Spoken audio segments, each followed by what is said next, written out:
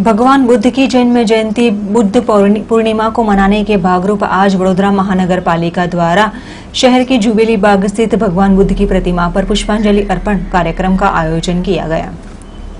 उत्तर भारत में शाक्य वंशी महाराजा सुद्रदीन राज्य करते थे तो वहीं उनकी राजधानी कपिलवस्तु शाक्य वंश सूर्यवंशु ईशु का शाखा कही जाती थी। ईश्वा को वंश में त्रेता युग में भगवान राम का भी जन्म हुआ था। महाराजा सुद्रदीन को दो रानी थी, बड़ी रानी का नाम महामाया और छोटी रानी का नाम प्रजावती था। रानी महामाया को एक दिन स्वप्न आया और वे गर्भवती होने के साथ उनके पिता के घर पर उनके यहाँ एक बालक का जन्म हुआ, जिसका नाम रखा गया सिद्धार्थ। सिद्धार्थ यानी कि गौतम बुद्ध की अपने किशोर अवस्था में ही उनके, अपने दोस्तों के साथ जंगल में शिकार करने के दौरान उनके लिए करुणा ने जन्म लिया था। बाद धीरे धीरे उन्होंने अपना जीवन परिवर्तन करने के साथ वे बुद्ध नाम से जाने गए, जहाँ आज भगवान बुद्ध की जन्म जन्म जयंती यानी कि बुद्ध पूर्णिमा को मनाने के भागरूप वडोदरा महानगर पालिका द्वारा आज शहर के जुबेली बाग स्थित भगवान बुद्ध की प्रतिमा पर पुष्पांजलि अर्पण कार्यक्रम का आयोजन किया गया इस मौके पर mayor Q Rukadiya municipal commissioner P Swaroop सहित कॉरपोरेशन के आला अधिकारीगण हाजिर रहा था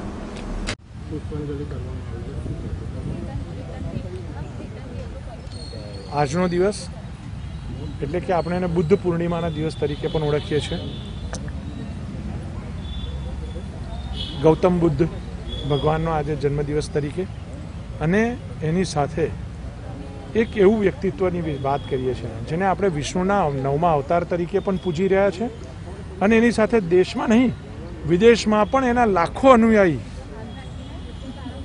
જેમના જીવનમાંથી પ્રેરણા મેળવીને આજે કામ કરી રહ્યા છે. એવા ભગવાન બુદ્ધની આજે જન્મ જયંતિ હોય, એમને આજે પુષ્પાંજલિનો કાર્યક્રમ કર્યો છે.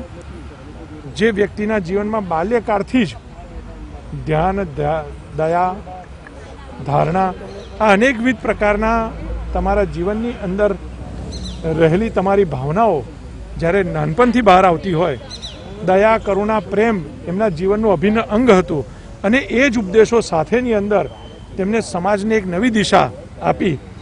ત્યારે આવા ભગવાન બુદ્ધનો આજે જન્મદિવસ હોય, એમના જીવનમાંથી પ્રેરણા લઈને આપણે પણ હંમેશા દયા, કરુણા લોકો પર રાખવી જોઈએ હંમેશા.